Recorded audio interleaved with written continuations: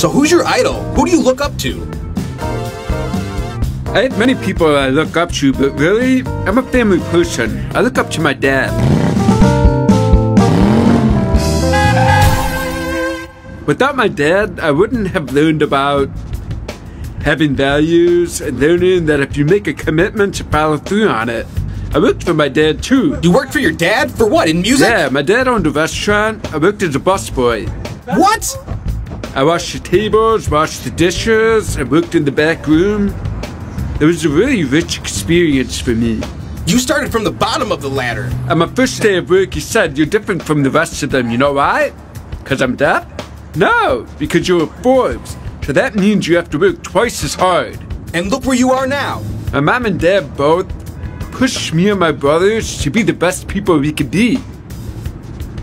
I really believe that I wouldn't be where I am today if it wasn't for them really pushing me and my brothers. It's all connected.